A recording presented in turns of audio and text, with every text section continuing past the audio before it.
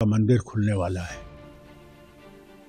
मैं उन सबको, जिन्होंने इसकी कोशिश की कि उनका मंदिर बने और वो तैयार हो गया है, उनको मुबारक देता हूँ।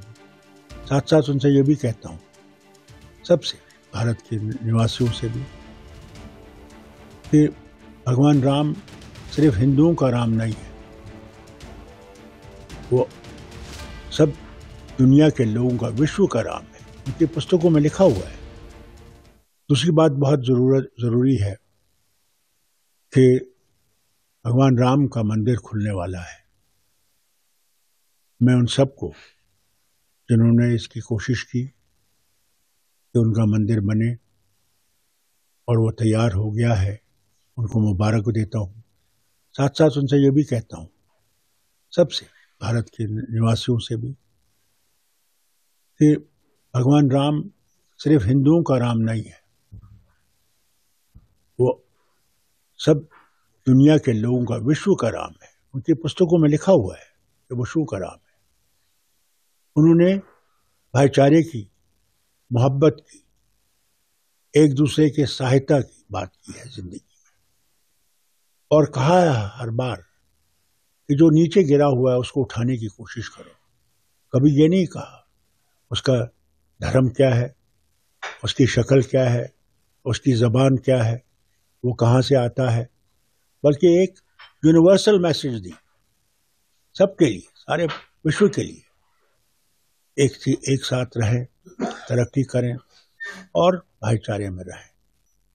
आज जब ये मंदिर खुलने वाला है, मैं सब भाई बहनों से कहना चाहता हूँ, उस भाईचारे को कायम करिए। जो आहिस्ता आहिस्ता हमारे वतन से गायब हो रहा है। रेलवे स्टेशन का निर्माण हो रहा है। नया एयरपोर्ट भी बन रहा है। यहाँ के लोग, या दर्शकगण सब बहुत धन्यवाद दे रहे हैं मोदी जी को।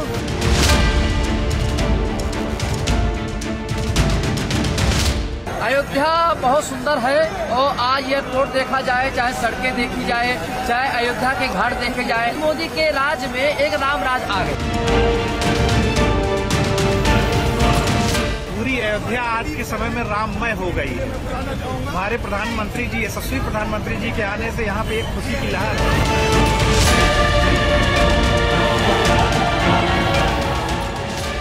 राम का मंदिर खुलने वाला है। मैं उन सबको, जिन्होंने इसकी कोशिश की कि उनका मंदिर बने और वो तैयार हो गया है, उनको मुबारक देता हूँ। साथ साथ उनसे ये भी कहता हूँ, सबसे भारत के निवासियों से भी, कि भगवान राम सिर्फ़ हिंदुओं का राम नहीं है। वो सब दुनिया के लोगों का, विश्व का राम है। उनकी पुस्तकों में लिखा हुआ है।